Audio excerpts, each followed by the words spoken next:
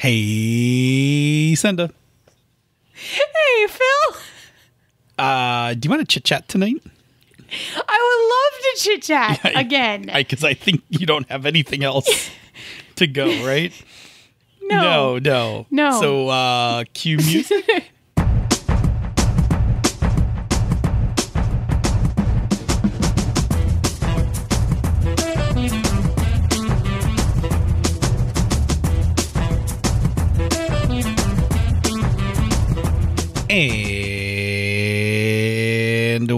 welcome to another episode of Pandas Talking Games.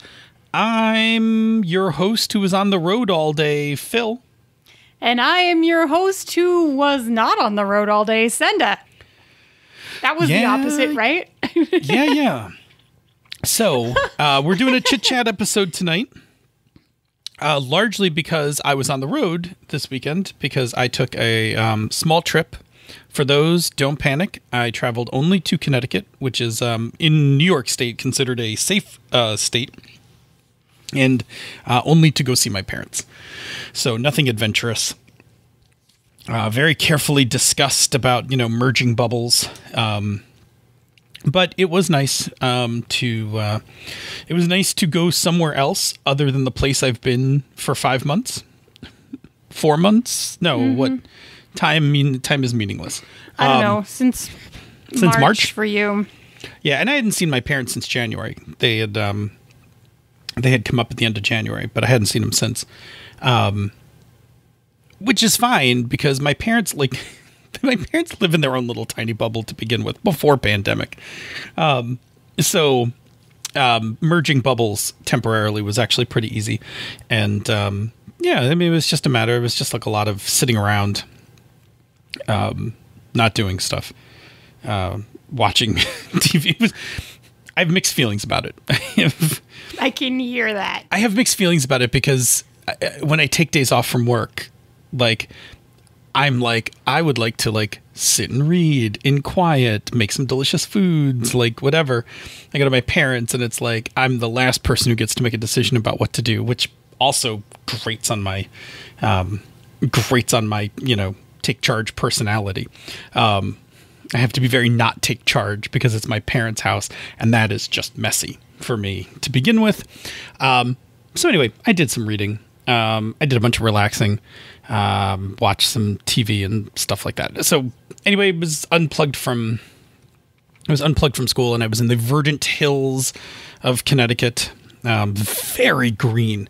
I I normally visit my parents at Thanksgiving, so it's it tends not to be very green or sometimes i visit them on like you know coming out of either going down to or coming back from metatopia which is like end of october when it's like very um, orange right? Yellow and orange.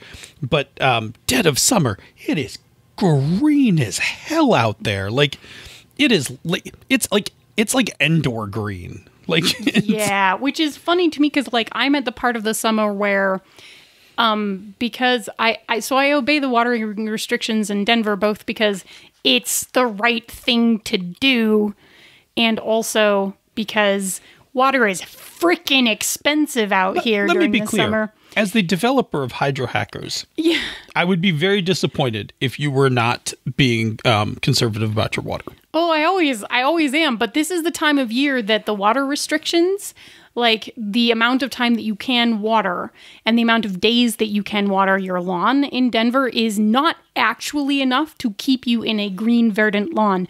So you can tell who's not actually following them because they have crisp, lush green lawns. That is not my lawn right now. My lawn is like just this side of dead. Like Lawns it's are- mostly sort of greenish. Lawns are overrated.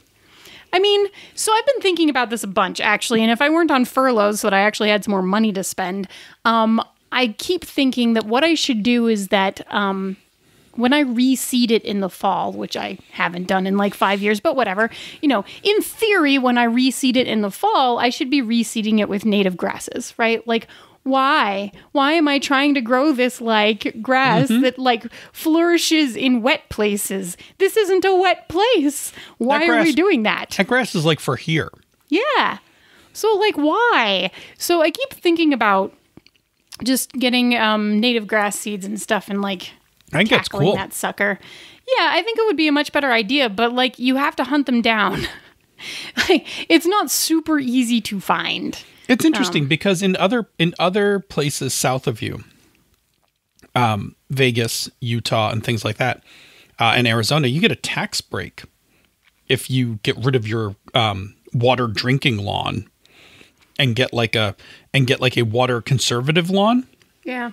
Like I think if, I'm trying to remember. I think somebody told me like in Arizona, if you obliterate your lawn and like pave it or just put like stones and sand or what on it, you get like a break from the city. Like, hey, thank you for you know, thank you for not using water. Yeah. So I don't I wouldn't get I wouldn't get any tax breaks or actual like money breaks from the city or anything like that, but it wouldn't cost me $150 a month in water bill to have a lawn. yeah.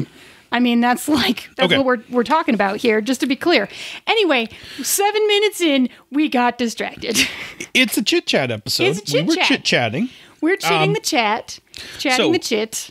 just to really uh, really quick um, if you've somehow picked this up as one of your first episodes um, our chit chat episodes are a more relaxed format uh, we've been doing a bunch of them during pandemic lockdown, but we actually went back a couple weeks ago and started just doing uh, some freeform uh, gaming topic discussions, uh, which we like, and we'll actually keep doing those too. Um, but our chit chat episodes are especially um, non structured, and we're really just kind of talking about things that are giving us life, right? To, to quote the Gauntlet community, um, we are going to talk about uh, gaming, th- a gaming thing that's giving us life, and then something else which is almost always food related and is going to be seems to be food that way. and Yeah, it's going to be food related, related tonight today. too. Yeah. Um, that is also giving us life. Um, and so we're just going to talk about those things and then wrap up the show. And then next week we'll probably pull another topic uh, if the whim hits us. But in the meantime, we're just going to sit back and relax. We're going to chit. We're going to chat, and um, we're going to go make this happen. And to be perfectly clear, as you may have already noticed, these chit chats are unedited. I am not going to edit all of this nonsense out of the chit chat. My apologies. Please enjoy.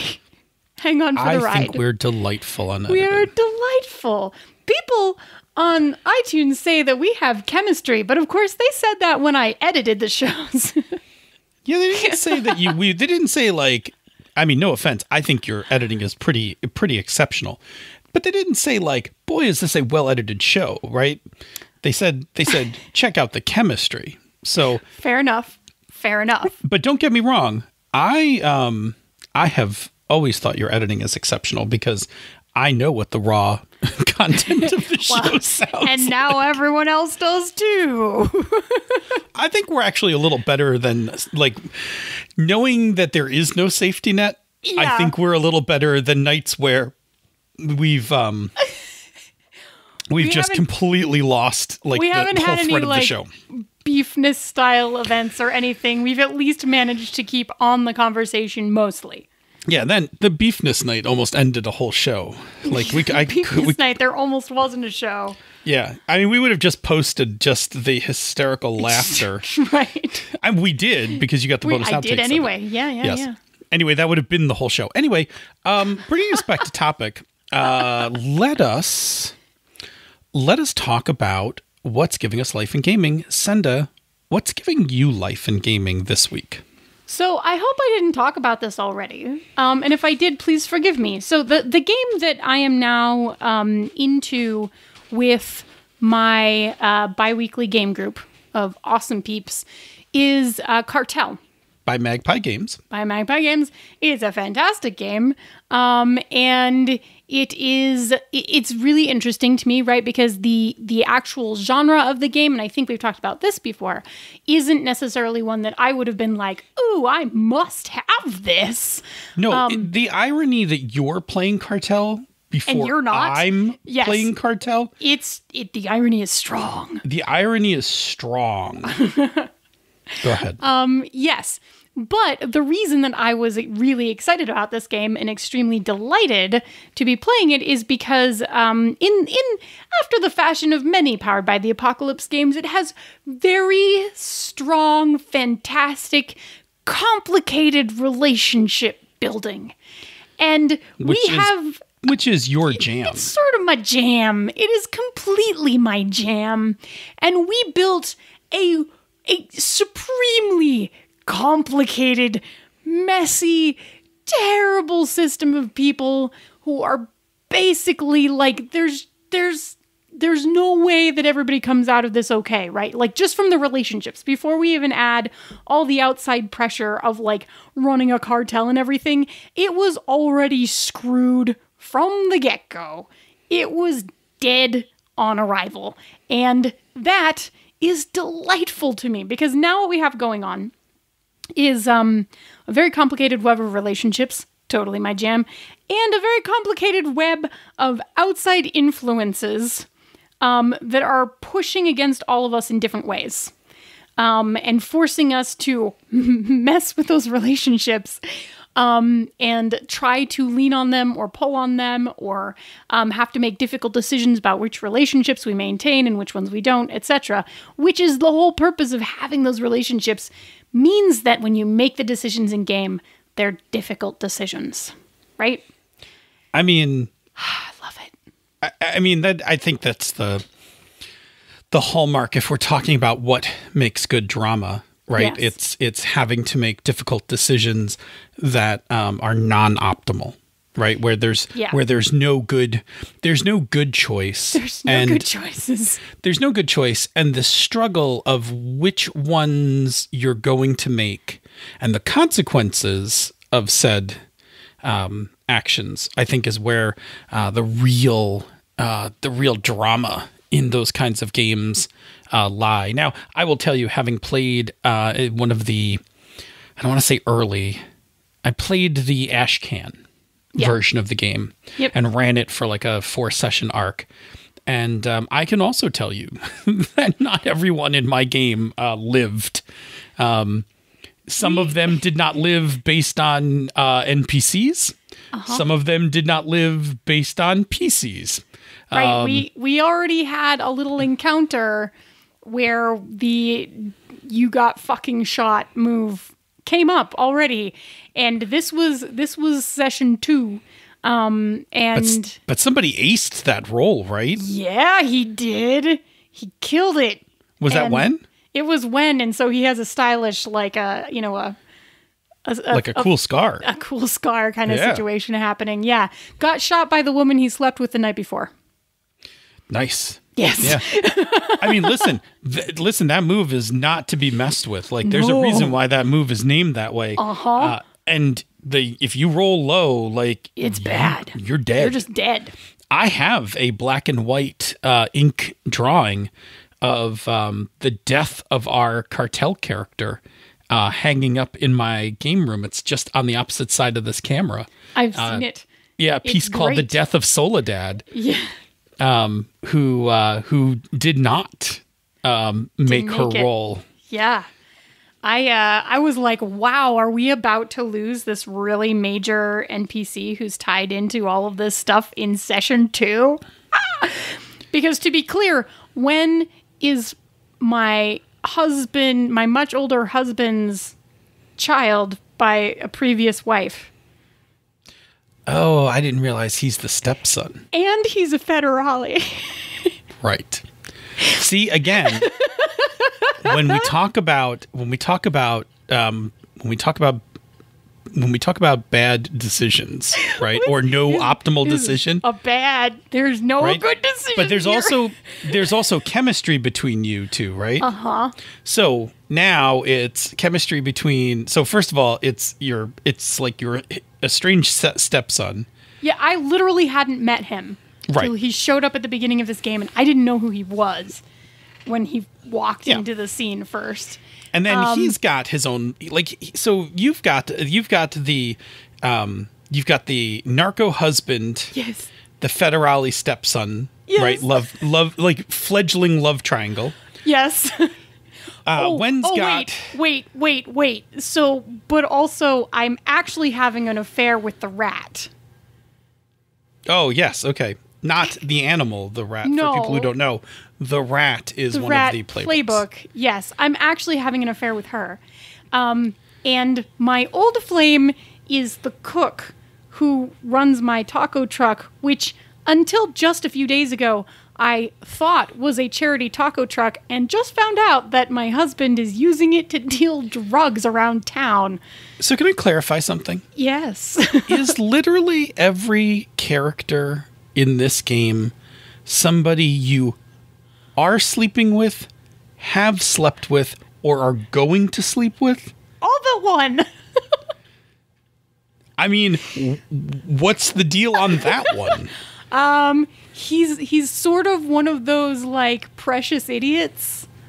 Like, I- okay, here's the thing. I'm not barring the fact that I might at some point, but if I sleep with him, it will be a character manipulation tactic. I I mean, I'm it's shrugging here, right? completely Like, possible. I took the move that gives me good things if I sleep with people. okay, I'm just saying, like, I'm just saying, I, I feel like you will have not really accomplished everything in the campaign if you, if if you haven't, yes, check all the boxes before you're done. I'm gonna work on it. I'm, so far, so far, one down. What do we got? Like five to go. So you know when this whole thing goes up in flames, you're gonna wind up in a drum in the desert. in the Dead. desert, right? Yeah. Yes, I really do. In fact, um, so Wen's character, the Federale, is in town investigating me because of my charity food truck because he thinks that I'm the narco and won't believe that his father could possibly be involved. And ha- he when now my husband his father has noticed like all of all of there's like DEA coming in town and stuff right and like shit's going down quickly and so he's decided that it's my taco truck and he's just going to pin it all on me Delightfully messy. it's super messy anyway that's my game so that's giving me life because it's phenomenally I can tell. messy I can tell. Based on I know gaming stories so sorry all no, but based on your great. description, it's it's clear that you are. Um, I'm really loving the like horrible, messy relationship disaster. I mean, it is just, it was a walking disaster from day one, and I'm thrilled. it's awesome. Yeah. Yep. Cool. Yeah. Anyway, what's giving you life in in your game life? What are you doing game wise? Yeah, so you know, I had this icon game, I- icons game that was going, and um, there wasn't anything actually wrong with it, but it wasn't giving me life. It wasn't giving the players who were playing it who were playing it either. Like we had a good time setting it up. We played a few sessions of it. We liked it, but you know the difference between a game that's like good and a game that like you're craving to play, right? Yes. Have I mentioned where I- cartel recently? yeah, well, that's where I was, right? So, and it turned out so was my group, which is always, almost always a sign that when I feel like that, I'm not the only one in my group who feels like that. So, having hashed it out with my players, um, we spent a session online uh, kicking around ideas for games. And it's kind of interesting because pandemic wise, games that I would have normally put on my go to list, I like, we were all like, uh, like Yeah. we were looking at, um, before pandemic, we were looking at, um, Headspace, right? yeah, we were looking at that. But before that, we were even looking at like Bite Me, Bite Marks. Bite marks, yeah. I will always call it by the original name. Sorry. I know. But I mean, we were looking at like bite marks, but then it was like, ooh, that seems a little too intense right now. So anyway, we kind of went around this list of different games and settled in on Numenera. Mm-hmm. And I was like, oh, I was like, I didn't know you guys wanted to play Numenera. Like, I will totally run Numenera. Like, I think that's I, I've always found that game interesting. I backed. I was like one of the original. I was in the original Kickstarter group, right? Like I, I was there at Gen Con when Monte announced it. I threw my money right at it. Um, I have you know the first edition copy um, when you know when the game came out, and and I and I, in all honesty, um, I love Monte Cook Games as a company. I love Monte, Shanna, all of them. Like I love I love um, all of the people there. I think they're fantastic um, people. So when it came around to like, hey, let's play Numenera, I was like, cool. I'm like, I will totally run Numenera. I'm like, this is a very big game book. Like, I haven't run a game that's in an eight and a half by 11 format, let alone let alone 400 pages of of game. Yeah. And I was like, "Woo!" I'm like, now as soon as I posted that on Twitter, people were like, "But Phil, don't worry.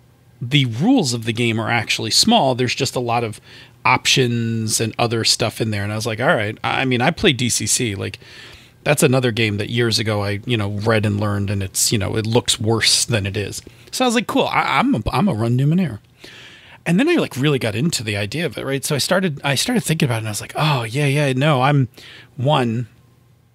there's a lot of things about this game that really appealed to me. So uh, it ha- it's science fantasy, which I like over fantasy Yeah. because, as you know, you don't like magic.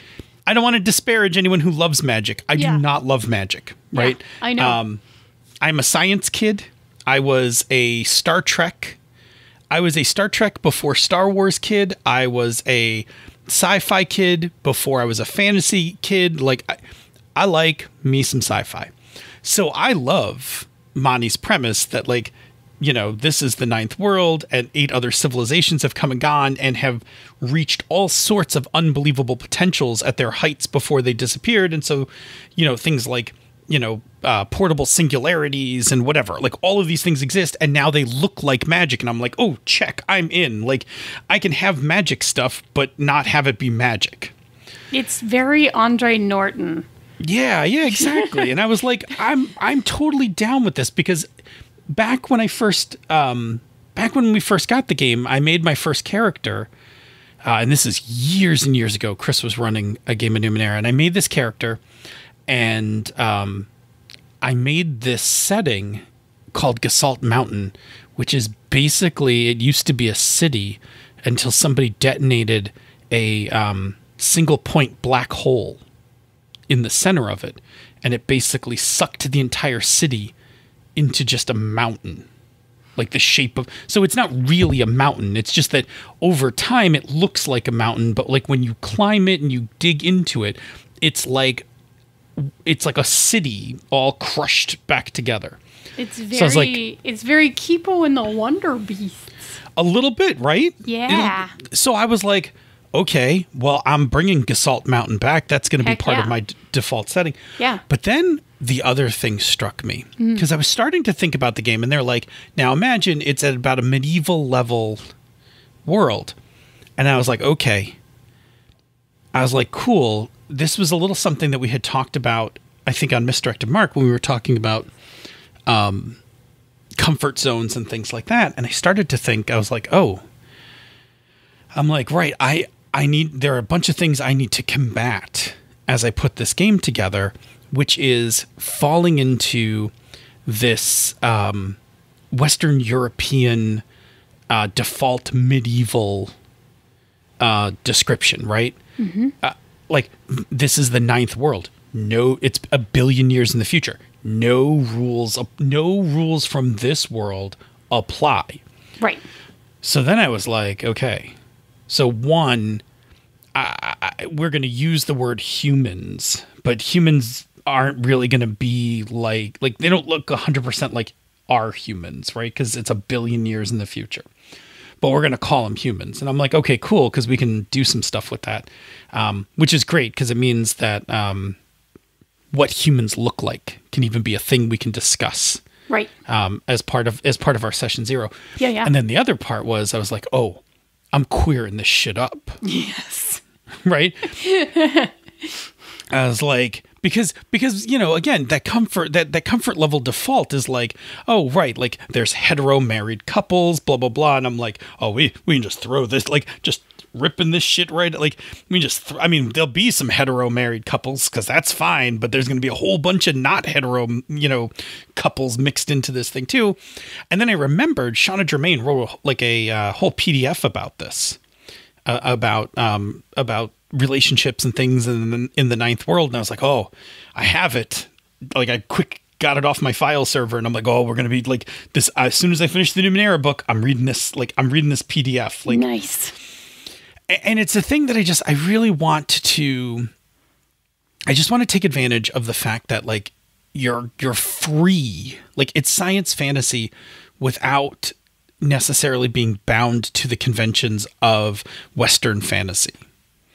Yeah. And I don't know exactly what that means, Yeah. but I mean to write it on an index card and stick it in front of me when I'm both prepping and running the game. Like as a reminder, like like anytime you think you're just taking the, you know, the safe route, Yep. you need to knock Go that shit off. Yeah. Right.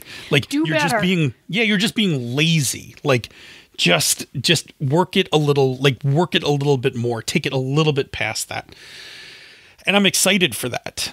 And then I was reading the system and I'm like, "Oh yeah, this system's completely light. Like it's super light." And I was like, "Oh, I'll have no problem running this system." um, which one it does something very smartly it pushes most of the system on the players like i have very little i have to actually do other than tell a cool story and occasionally pick some difficulty levels for things um, the players have to manage their resources and roll dice and shit like that um, so I, I like that Yeah. and um, and yeah so i'm i'm excited this it's giving me life like i'm excited to uh, I'm excited to uh, read a new game. I'm excited about um, I'm excited about running something new. Uh, I got my other two games going. I got my DCC game going, and I got my Forbidden Lands game, which is just like eternal now, right? Like that game's just going to run for. It's uh, for a turned long into that old style of like there is no endpoint game, hasn't it? It actually does have an endpoint. Oh, I'm, okay. I'm playing a particular campaign book Fair that enough. has an endpoint. Has an endpoint. Um, but at the rate at which we move through storyline, you may never get there. I don't know if we'll ever actually get to the end end. Like there are a lot of intermediate goals in the middle of this thing. We may someday just get to an intermediate goal and be like, "Cool, let's We're let's done." not play anymore." Right. But for now, that game's like that game's going. But anyway, I'm I the thing that's giving me life is uh, a renewed interest in uh, in playing a game. I haven't been excited about. Um, I haven't been. I haven't had new game excitement in a while, and I'm definitely having new game excitement. So. Which is awesome. I've been finding um, for a while there, just pandemic wise, the games that were giving me excitement, and I know that I talked about this probably here and definitely on the Gnomecast, um, as I was getting new game excitement from games that were specifically built to play online. So that was an interesting like twist on it, right? Um, and then, but like just to piggyback for a moment, like um, I got to play Dead Friend finally yeah. which is by Lucian Kahn, and it's uh, a great game. And uh, I played it with Wen, and I recorded it. So if you want to hear it, you can hear it on Jesus Super Geek. Um, and uh, but it was like it was one of those weird like I've been talking about it and hearing about it for so long, and then when I opened it. Um, I was like, oh, this is neat. Like it's got like a, a ritual page and all of this stuff. And I was like, I'm totally into this. Um I'm still right now getting my new game life energy from like physical components, which is tricky because everything's online right now. Fun. Yeah, I'm uh what you call it? I'm actually so uh the other thing that I'm dealing with as I'm working on this game is I'm like, okay, what digital assets Yeah. Do I have? Now, as it turns out, Numenera has a bunch. Like Roll20 has a whole bunch of Numenera um, stuff cooked in. So there's a nice character sheet, which I'm like, oh, that's great. Um, because I think it, I think it does, I think it does rolling and stuff for you and all the pool management. Um, there are um, the physical game. You can buy decks of cards for ciphers and things like that, so that like you can randomly pull out a cipher and hand it to a player. Yeah. Um, so the cool part is they have those decks digitized. Ooh, there's been lots of stuff translated to, to uh, Roll20 recently that's really cool. Did you so like Fall of Magic you can play on Roll20 now? I don't think that's new. I think Well- it's been there for a little while. Okay, I mean that makes sense, but I didn't know about it, and maybe I'll Yes. actually get to play it someday. Uh, I would love. I still have never played this game. I know. I, I I'm torn. I'm torn. I'm I'm. Here's what I'm torn about. yes. I'm torn about playing it online with you because one, I want to play this game with you because I think you're gonna love it. Yes. But two, it's so tactile. it's beautiful. Yeah. It's a piece of it's a piece of you're playing a game on a piece of artwork. Yes. And I own the game. And so if we are just patient and and ride out the I'm pandemic, not always known for my patience, but sure. but there's a there's a point where we could play it somewhere. Yes. Um, because I have right because I have it and I have all the stuff for it. Like I ha- I backed both of the other Kickstarters for it. I have the really nice. Um, I have the extra coin and all that stuff. So I I am torn because I know you will love this game if you play it, but also I think that if you I think that there's a lot to be said for um, there's a lot to be said for putting down the map and unrolling it as part of the game process. It's fair enough that it it's yes, and I I actually agree with you. But I, so I will also say though, just because I know these ones, just in case people don't know this, um, the new version of Fiasco with the card decks is also available. You can buy it on Roll Twenty, and also for the Queen is available on Roll Oh, 20. yeah. Yeah. which is super uh, neat. Like you can just literally be like the same way that we would just grab a bunch of people together to play like at a convention or something. Be like, hey, you want to play some For the Queen for like an hour? Sure, you can do that on Roll Twenty. I'm waiting for my fiasco to arrive. I have the digital assets because I was a backer of the thing, but I uh, I'm still waiting for my shipping confirmation. Don't yes, don't well, do it. I mine know. is on the shelf over here. Yours is a prototype, which is even That's cooler. I know. Andy has the real one. Yeah. I'm waiting for mine. I have not gotten the ship, shipping notification. anyway, we should move on to um, other things that are giving us life outside of games, and that is food. Yeah, apparently What? it's all food. what is what's giving you life? so let me just start by saying, firstly, because I've talked about bread a lot, I have discovered that my bread recipe translates really well to baguettes, and um, I'm a big fan of this because it's just a better, um, it's a better shape thing for like functional use for Baguettes are amazing. Sandwiches and breakfast and, and and and breaking chunks off and like all of those things right? So um and i've perfected it. It's a it's a very loose dough so it's hard for me to necessarily get it to rise to a perfect baguette and not be flat if i just put it in the oven. But i uh, made my father bring me down baguette pans which is just like a little u-shaped thing. Sure, sure. and in that uh perfection they came out beautifully um just a little bit of help right so like it's close. I mean, I'm not gonna I'm not gonna pretend that this is a true French baguette, but it is probably as close as I'm going to come, especially at 5,200 feet above sea level. Yeah, I was gonna say you're uh, what you call it. I was gonna say you're doing this whole thing. Yeah. Um, you know, in the sky. Right, which makes a very large difference. And I have struggled down this path before. But anyway, so so that's the first thing. The first thing is like bread continues. The bread continues. Um, the bread knows all. But the other thing that I tried this weekend with my kiddo, and I'm very excited about, is no churn homemade ice cream. And it is so freaking good. And the base of this ice cream, it's in Bon Appetit, of course. Um, so like you can spend a lot of money getting, you know, three cups of raspberries to do a raspberry swirl and, you know, schmancy chocolate and fresh mint to infuse your cream and yada yada yada yada yada, right? But but the basis of this ice cream is so unbelievably easy and it's such a just an easy palette that you could really just do whatever you wanted on that I'm thrilled to pieces to just start experimenting, right? So it's a cup of condensed or no, it's a can of condensed milk. A teaspoon of kosher salt.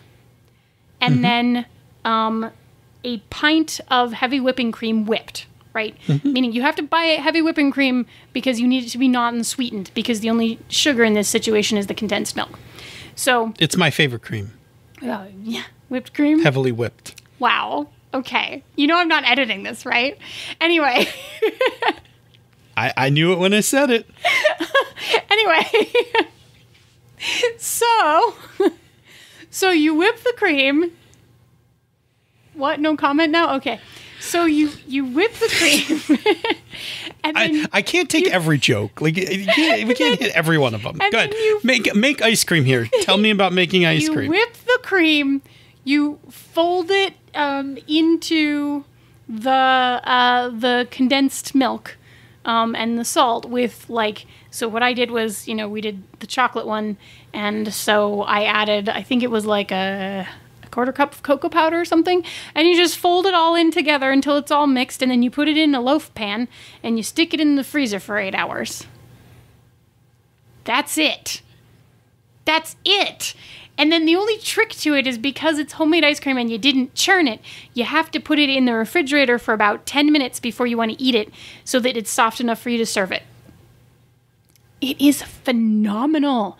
It's so good and it's so easy. I was like, wow, I'm blown away. So And it was delicious. it's delicious. So I we went slightly schmancy in that I didn't go buy fresh mint leaves to infuse the cream. So I left the mint out of this chocolate recipe. But I did do the part where you layer the chocolate um, base into the pan and then you drizzle it with like bittersweet chocolate and then you layer more on and then you drizzle bittersweet chocolate so that there's like layers of like chocolatey chunks inside the ice cream as you scoop it. But I could totally see doing things like if you wanted it to be chocolate with like a caramel swirl, you could do that. You could just like buy some caramel or whatever. Or you could just buy some fudge sauce and just like swirl it into the ice cream and then freeze it. And that's it. Like you're good. Anyway, it was very exciting. And then for dinner tonight, I made a schmancy ramen salad thing, which was also exciting. But um, mostly, I'm excited about the ice cream. Anyway, Phil, what's your food thing? Chicken katsu. I'm so jealous of this Donburi place. Oh, I love this place. Uh, so, down the road from my house, um, there is um, there's this little place. I honestly overlooked it like a bunch of times. Um, I did not think it was the. Is I don't want to say it's a hole in the wall. It's just this little restaurant. I overlooked it. One of the other guys in my group pointed it out, and I was like, I'm like, oh, so like this place is a Japanese yakitori donburi place. And I was like, all right, I'm in because I don't know if you remember. I think we talked about it a while ago. I was really into um I was really into this YouTube guy who lives in Japan. Yes. His name's Pablo? Oh, I remember. Oh, I, I so remember. I, I, I watch so many of Pablo's videos, right? Yes. I forget his I forget the name of his channel, but it, um, it, it's, Pablo from Tokyo, I think is actually Yes, the name. um, I, I don't think it's actually that complicated. Yeah. But his favorite meal is um, chicken katsu curry. And for the longest time, I was like, I have got to try this meal. All right. So if you don't know what chicken katsu is, uh, it's pretty simple. So uh, chicken katsu is basically uh, just a fried chicken cutlet, and it's um, it's it's a, um, a chicken breast cutlet pounded down flat. Um, I'm pretty sure it's coated in panko based on the crunch of it. It's panko, deep fried, and then typically cut into just slices. Right? You just you just quick slice across it. Um, if and I could be wrong on this, but I think I understand enough of this from watching the videos. Um, so donburi is uh, style. It's it basically a rice bowl. Yeah, rice bowls. So it so it is a bunch of rice, and their rice is delicious. Like I really love their rice. Um, you lay the chicken katsu on top of it, garnish it with like a little bit of broccoli and some ginger, which I largely just ignore. What? Give me your ginger. Oh, it's fine. I, it's pickled ginger, No. and it, it would be fine. But I don't Nom, really need it for the palate nom, cleanser. I don't need it for the palate cleanser. I love the ginger. Give me the ginger. All right, so for the for the chicken katsu curry, um, then what you get is a little container of a Japanese curry sauce, brown sauce curry, with little bits of um, potato and carrot in it. Um, and then I try. I, I usually just dump it right on top. No, I don't dip or anything like. that. I just dump it on top because I want the curry sauce to get into the rice. Um, it. I will say this though, it does soften the crunch. the panko crunch. So um, I'm you know I don't always dump it all the way in. Sometimes I just dump it on part of it, eat the first part, then dump it. You know like put some sauce on the next part, that kind of thing, because I don't want the panko getting all um, smooshy. Anyway, um, so the other bowl that they make is um, the other bowl they make is just a chicken katsu bowl, which instead of the curry sauce, they give you this um, this like thicker teriyaki sauce. I don't think it's actually teriyaki sauce, but it's a brown sauce. It's a little sour, Okay. but I find it to be delicious as well. And you can just drizzle that onto the uh, chicken and a little onto the rice, whatever. Anyway, it's not a super complicated meal. It is excellent though. Like I just, I love it. This place makes it. It's not even. It's not that expensive, and it's like a couple blocks from my house. Uh, and so far, I've done the chicken katsu curry. I've done the chicken katsu, and then there is also a pork uh, katsu and a pork katsu curry. Uh, and at some point, I will probably try to get around uh, to that one as well. But I really like. I really love it. It's um, it's really good. So I, this will sound silly, but uh, when I get it, the bowl that the container that they put it in is always like too small to pour the curry mm-hmm. sauce into. Yeah. So I want to put it into like a larger bowl. And what's really nice is that their rice is so sticky that if I just get a fork under the rice, Just I can actually I can basically slide the container out and basically just slide the whole thing into a larger bowl and then just take the bowl to the table and you know put the sauce in it and eat it without ruining the presentation because I, I do find I don't say this for all foods but I, I find for Japanese food that um, presentation is is a big part of eating it. Um, and they do such a nice job of the way the katsu is like perfectly cut and laying on top of everything and then garnished just so. And it's really nice to be able to get it out of that container without it just like falling apart into like a mixture of rice and chicken. You know, like I don't know. I've, I don't know if that sounds silly. no. It. You're talking to the person who just made ramen salad tonight and very carefully arranged all of the vegetables on top of that ramen. I thought your ramen salads the looked. entire thing with dressing. Yeah, I thought they looked very nice. Um, They were delicious. Yeah, so I so anyway, chicken katsu has been giving me life. I've had it now a couple times. Um and I just like I'm really pleased that this place exists and I keep wanting to just like here take my money don't go out of business. Like I really need you to be around. I just What? remembered something else food wise that's giving me life, but I'm gonna let you finish first. uh no, I was just about to loop it back around. So um Okay, well, I want to say one more thing about food Sure. that's giving me Sure, life. sure.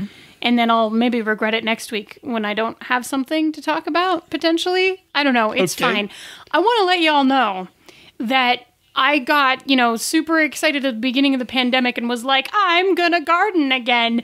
And then I was like, I forgot about my garden and I like didn't weed it for like a month. And then I went out and weeded it and like it was fine. And I don't know, stuff grew and didn't grow and whatever. And I mostly just have been ignoring it. But I have my first tomato, and there are many more on their way, which is thrilling. But the raspberry bushes, which I mostly just ignore, except the ones that I mow over because the raspberries are trying to take over my entire yard, and they have been for years. The raspberry bushes this year have gone mad. And it's delightful. I'm not buying raspberries. I just go out every couple of days and I fill up a whole container with raspberries, and they're so good. That's I awesome. Grew them myself. I love them. There is something so satisfying about food that you grew yourself, and it's kind of just amazing that you can. Like we don't Cool. think about it very often because there's grocery stores, right? But like, wow, it's really cool to be like, this is delicious, and I grew it. I love it. I think it's awesome. And I saw the picture of everything that you harvested and uh and it was it looked great. It was a lot of raspberries. Yeah. Cool. So what do you think? Think we've reached the uh, end of our chit chat? Yeah, I think we're probably in a good place to wrap this up. Excellent, excellent. Okay, so then uh, before we kick into the closing, uh, first you need to tell us about another show on the Misdirected Mark Network. Sure. On uh, She's a Super Geek, you can catch me and Andy uh, every other week uh, doing actual play RPGs that highlight women as GMs, or sometimes, as in the recent past, there is no GM. And so that's just fun because, you know, we all enjoy it. Anyway, you should check it out. I ended up playing a couple of two person games recently that were very epic, and I enjoyed them. And uh, part two of Dead Friend will be coming out I think the day after this episode drops. Yes. Excellent, excellent, excellent. That's my Cool. Say, Senda, yes. Where do people find us on the internet? Well, you can find us on Twitter at Pandas Talk Games. You can find us in the Misdirected Forums, which is forums.misdirectedmark.com, or you can drop us an email, panda at misdirectedmark.com. And Phil, once they find us in one of those locations, what can they do with that information? Yeah, absolutely. Ask us a question, uh, give us a suggestion for a show topic, something you want to know while we're chit chatting, whatever. It's okay. Um, we'll make a show out of it. Like I said, we've been doing chit chat episodes, but occasionally we've just been pulling things out of the new request, uh, new requests, and just doing them as free form episodes where I just uh, toss out the topic and we just go back and forth discussing it, which I've thoroughly enjoyed.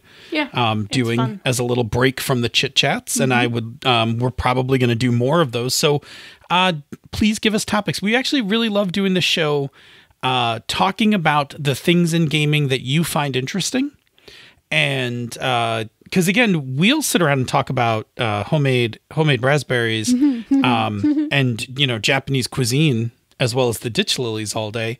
Uh, but if you ask us to talk about a thing we will happily uh, do that instead. So we really want to do that. And uh, we pride ourselves. Pre-pandemic we were like 98% uh, topic driven from from our listeners during pandemic we're probably like 94% we've been doing a lot of our own We have been doing, oh my. chit chats and gosh, things like that and we'll we'll bring those numbers back up po- like when we get through the other side of this but Yes. for now give us some suggestions if you like what we do here or elsewhere on the Misdirected Mark Network, please consider supporting our Patreon campaign. Go to patreon.com slash MMP.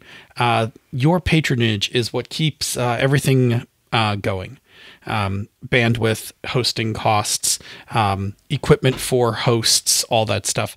Um, it's not a small amount of uh, material, and it means a lot to us to uh, be able to um, do all of this uh, for you guys to listen to. We love doing it, but uh, it wouldn't be half as much fun if we were doing it and you guys weren't listening. So uh, please consider.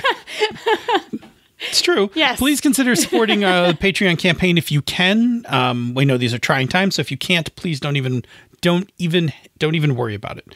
Um, but if you do become a patron of uh, Misdirected Mark, there are a bunch of things you get. You get first of all, you get access to the Slack Room for Life. It is a wonderful collection of humans uh, that uh, I hang out with uh, quite frequently, and we just kind of talk about our days.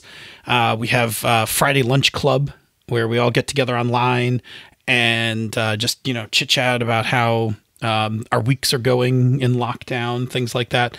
Um, we have the bonus outtakes from this show, which are pretty damn funny, actually. um, we're we're pretty delightful. Um, so you get those. You get the um, the after show from Misdirected Mark. Uh, there are other stuff that um, when we're not in pandemic lockdown that we also uh, like to do for our listeners. We've in the past we've done things like parody songs and um, publications from Encoded Designs and all sorts of stuff like that. Uh, so uh, we very much um, like to shower those things upon our patrons as well. So please, if you can, uh, consider supporting the Patreon campaign. Uh, it means a great deal to us. Uh, so thank you. There is a thing you can do if you're already supporting the Patreon campaign, which again, thank you. And if you are unable to support the Patreon campaign, um, that helps us immensely. And it falls into our our devious trap of if you listen to us, you will love us. We know this to be true, right? If you listen to us, you will love us. But we need to get more people to listen to us. So, other than just putting our recording in front of other gamers and being like, listen to this, it's awesome. There's another thing you can do that helps gamers that gamers and podcast listeners that you don't know find us. And all you got to do is uh, go to a place called Apple Podcasts um, or a couple other places, which Senda's going to tell you about, and then you're going to do a thing. Right. So, Senda, what's the thing? Well, you can leave us a rating or review on Apple Podcasts or the podcatcher of your choice. Um, every new review we get really does actually help new people find the show. And uh, so I will just call out, I think this is our most recent one. Um, thanks so much for the review. You're awesome. We appreciate it. Oh, it. sweet. I didn't know we had a new review. Thank you. You know, we we we stopped doing the new review dance when you got in trouble at work. Uh, I mean, Yes. Well, that happened. It did happen. Anyway, so uh, thank you so much to everyone who already has left a review. They really do actually help new people find the show, and we super appreciate them. And also, artistic validation. Yay! No, we love artistic validation. like that's let's just be clear, we love artistic. Love artistic validation. It's great. Cool. Cool. So say Senda, uh what are you gonna make with all those delicious raspberries? um, right now, I'm eating.